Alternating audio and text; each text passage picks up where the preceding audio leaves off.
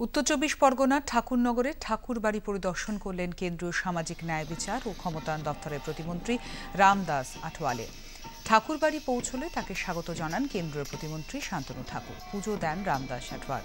পরে সাংবাদিকদের প্রশ্নের উত্তরে তিনি বলেন সিএ নিয়ে রাজ্য এবং কেন্দ্রকে ভাবা উচিত। কেন্দ্রীয় প্রতিমন্ত্রী শান্তনু ঠাকুর এ বিষয়ে রাজ্যকে এগিয়ে আসার আহ্বান জানান।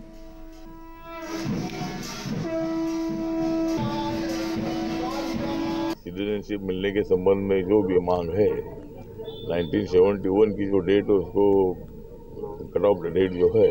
उसको बढ़ाकर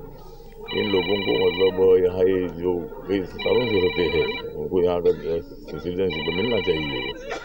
मेरी पार्टी की पहले से मांग रही है और मैंने उसके लिए आंदोलन भी किया है, मैं बहुत बार कोशिश भी किया है। या एक बहुत बड़ी रैली हुई थी उसमें भी मैं इसमें आया था तो सीए के बारे में हमारा कहना ये है कि भाई इनकी जो मांग है उसको मान्य करना चाहिए আহ, উনি যেটা বলেছেন সেটা ঠিক আছে রাজ্যকে সমর্থনের জন্য উনি বলবেন যে সিএ যেহেতু একটা আহ, বড় একটা ইস্যু এবং মানুষের স্বার্থে এটা হওয়া উচিত